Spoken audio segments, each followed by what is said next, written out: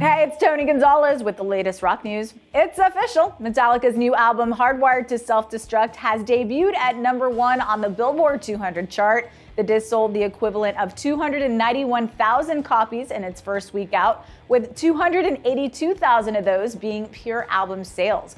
In fact, Hardwired to Self Destruct had the highest first week sales of any rock album in the past two and a half years. And it's the third largest selling debut of 2016, coming in behind only albums from Drake and Beyonce.